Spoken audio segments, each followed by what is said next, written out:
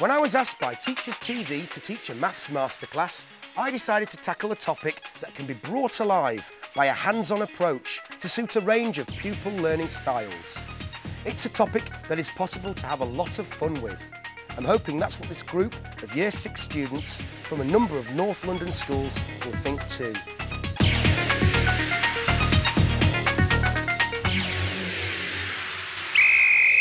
Who loves football? Me! Support? Liverpool. Who supports Leeds United? Oh, well, I come from Leeds and I support Leeds United. Boo. I was expecting some boos. Oh, well, I love Leeds. This is a football pitch. It's got lots of different shapes on it. What I'd like you to do is pop your clipboards down and all come up and stand on any area of the football pitch that you like. Come on, on. On we go. Any area. It could be the centre circle, penalty area. I want someone on the corner flags. There's a corner flag over here. Excellent. Excellent. Brilliant. OK, so you're all in an area of the pitch. Goodness me. You're standing there, are you? Red card, you're off. Sit back down. Disgusting. And you're standing on there, are you? Red card. Corner flag. Red card, off you go. And you, Tarjana, off you go. Alex, Max, Mohammed, you're all off. Ah, now then, we've got one, two, three, four, five, six, seven people. Why have I left these people on? Well, go on. They're all standing in rectangles. They're all standing in rectangles, sort of, but this shape here isn't quite a rectangle, is it? But it is made up of straight lines, straight sides. Anyone who was standing in a shape that had a bit of curved line on it, I sent off, didn't I? This quarter circle is made up of two straight lines, isn't it? And a curved line. And I sent you off. All of you that are left on the pitch are standing in polygons. Adtha, you weren't standing in an area that had all straight sides. How do you feel? I'm very disappointed that I couldn't stay on for the rest of the match, and I blame no one but myself. Sarah, I thought you'd be playing for England, and yet you haven't stood in a polygon. You got sent off. How do you feel? I feel so disappointed and very ashamed. I, but I'm just going to keep boosting up my confidence and potential. So, Mohammed, you were sent off too. How do you feel? I can't believe it. It's, this is a disaster. A polygon is a shape with all straight sides, and there's lots of things you can do with polygons. In fact, on your clipboards, you've got polygons in front of you, haven't you? Take a rectangle. A rectangular piece of paper. That's a polygon. No curved sides at all in sight. But they're not all equal, are they? No, but it's still a polygon. That's cool. What I'd like you to do is get this paper, and you might want to tear it, or you might want to cut it with your scissors. I want you to make a hole big enough in this polygon, big enough in this piece of paper, to fit right over your head and right round your body. A hole. Can you do it? You've got 40 seconds. Go. Fold it. It's got to go right over your head and right around your body. It's impossible. That what you said? Nothing's impossible. Oops. Fit it through. Don't break it. Got to go right over. Go on, you can do it. Right over. Oh, lucky. Now, I've got an easier approach, a much easier approach, and I can make a much bigger hole than you did, so it's easy to fit round. OK. Another piece of paper. This time you will definitely need your scissors. Fold your piece of paper, hold it landscape, like so. Yep. Fold your piece of paper in half. Can we manage that? Hold your fingers somewhere in the middle, like that. Grip it tight. Then cut down towards your fingers and stop when you get to your fingers. So you're going to snip it in half, but you're going to leave a good centimetre or two there, look. Each half, I want you to cut into thirds. So two more cuts. One, two on one side, OK? But leave a centimetre or so gap. And three more wiggly bits on the other side. So we should have, looks a bit like a crown, doesn't it? You see that? Six wiggly bits. Open it out. We've actually got four fingers stuck inside. Can you see? One, two, three, four. I want you to snip, OK, the ends of each of those fingers. Watch carefully before you start snipping. Start with your first finger and snip it from the top across. Instead of cutting the next one from the top, cut that one from the bottom. So you've got a wiggly finger, OK, but it's hanging down. back to the top.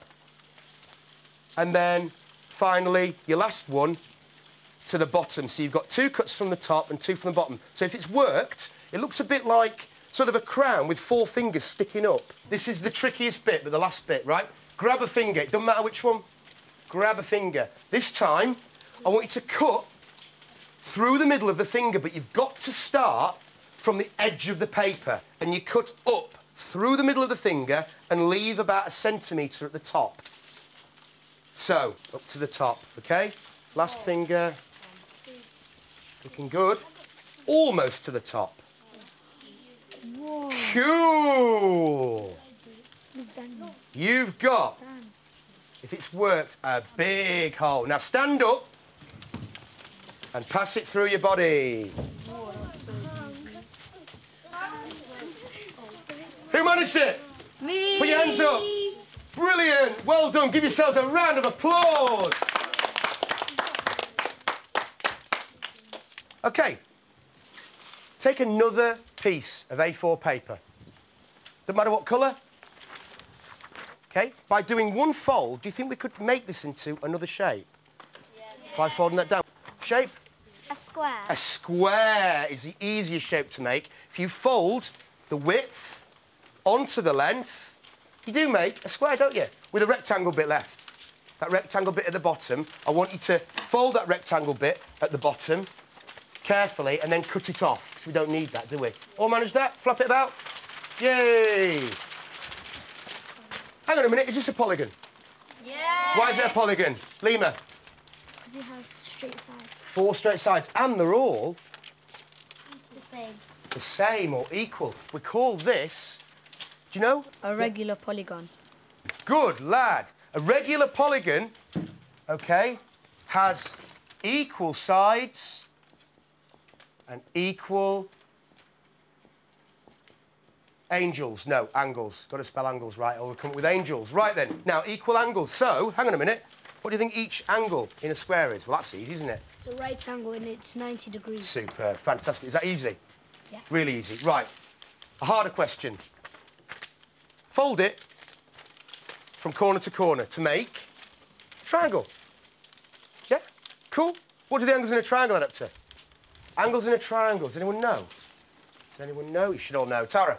180 degrees. 180! The angles in a triangle add up to? 180 degrees. Does anyone know what sort of triangle that is then? What sort of triangle? Tajana? Isosceles. Isosceles. Can you spell it? I-S-O-S-C-E-L-E-S. Well done. She's got it right. Give her a round of applause.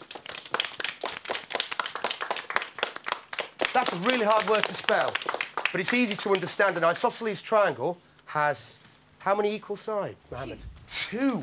What about the third one? Daniel? It's, um, it's either longer or shorter. Yeah, look. Look at that one there. Either longer or shorter. I think yours is longer, isn't it? Yeah. Yeah, let's have a look. That bottom side. Oh, it's much longer. So it's isosceles. Brilliant. Tell you what, fold it again. In half. Fantastic. What'd you get?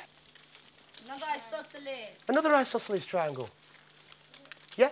Keep folding it. Isosceles triangles. Fantastic. Yeah? Open it out. Wow, look at that. Now, when you open it out, look at all your fold lines. You've got a series of isosceles triangles, haven't you? They're all equal to each other. They're all equal in size and they're all equal in shape. Now then, does anyone know the word that we use to describe two shapes in maths that are the same in size and shape? It's a hard one, and it begins with C. Adtha, A congruent. congruent, very good. Congruent, isosceles, triangles. Wow. Start folding your triangles up again. I like to see those isosceles triangles. Come on, let's fold them up. Like yours. Come up here. William, I like yours. Come on up. Oh, you've got a really tiny little yellow one, haven't you? Oh, that's lovely, that one. Are you coming up as well, Sarah, right? OK, now then. We're going to stick your triangles up on the board. Why not? Shall we stick them up? Why not? OK, let's stick them up. I'll stick mine up. There we go. Have you guessed what it is yet? Pardon? It does look like a Christmas tree. Thank you very much. If you'd like to sit down. OK, it does look like a Christmas tree. It just needs, um, yeah, very good. Reminds me of a song, this. Oh, isosceles, isosceles, you look just like a Christmas tree. Isosceles, isosceles, two angles have equal degrees. Shall we sing along? Oh, isosceles, isosceles, you look just like a Christmas tree. Isosceles, isosceles, two angles equal degrees. Can you say a round of applause? Two equal degrees, so hang on a minute. That's the right angle, isn't it? Definitely? Definitely a right angle. 90 degrees. What are these two angles here then? Can you work them out? Can you work them out without measuring or anything like that? Go on, Sarah. 45 degrees. Why? Why 45? Because, nine, uh, because all angles equal 180, and 90 is half of 180, and half of 90 is 45. That is absolutely superb. Well explained. Do you want to be a teacher one day? Fantastic. OK? 45, 45 and 90. Wow, so we're learning a lot about polygons, aren't we? OK, we know that they are shapes with all straight sides. What polygons have we come across so far? Squares. Square, OK. Rectangles and... Triangles. Triangles, so far. Brilliant. Now for a more interesting shape. What about a hexagon? Who would like to draw a hexagon on the board for me? Max, go on. You're close. Just pop it in there. OK? Max is going to draw a hexagon. How many sides did he need to draw? How many? Six. Six. Nice and easy. Pretty good. Would it be easy to work out, say, an angle inside a hexagon? Do you think? Hmm. Called an interior angle. An angle inside a hexagon. Any guesses? Anyone know? Um, I th I'd think around 120. Around 120, or bigger than 90 degrees. So it's bigger than 90 degrees, it's smaller than 180 degrees, isn't it? What sort of angle do we call that? An angle that's between 90 and 180. Special name? Daniel? Obtuse. Obtuse, yeah. Any better guesses? 120? 135. 135, good try. 110. It's round there, isn't it? 100 and some, I reckon. Now, we could measure it, I suppose, couldn't we? But that diagram's not drawn to scale anyway, is it? So, I know we'll use my old friend the square to help us out. Now, I need a couple of very willing volunteers. Annie and Dardan. OK, you're going to be the folder, Dardan. You stand there. Annie, come round here. You are going to be the holder. Stand round there. We have a piece of square paper. Could you get your square paper out of your folders? Just tucked in at the back. Now, we've got a big square, OK? So we need two people. What I'd like you to do is, first of all, you hold it along the edge, fold the square in half. Nice and easy. Hey, we've made two congruent rectangles. rectangles. Of course we have. Now, the top bit of your square, I want you to fold in half towards the centre. Go on, you can do that. Let's hold that up. We've got to hold it at the centre with our finger, and then we're going to have to fold one of these corners up to the quarter line. Brilliant. OK? See, you've managed it beautifully. Well done. OK, and crease it. OK, so you should have got that. OK? There we go. And now for the second fold. OK?